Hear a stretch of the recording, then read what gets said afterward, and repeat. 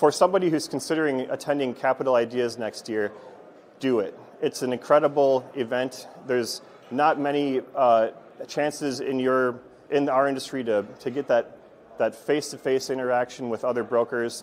Um, you're only meeting with third-party logistics companies and suppliers to the third-party logistics industry.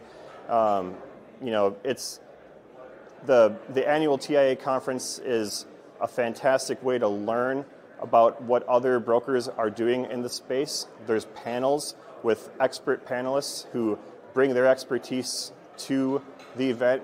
Uh, large audiences get a chance to ask questions uh, and learn more about how you can improve your business, how you can level up what you're doing in the industry, uh, and continue to grow.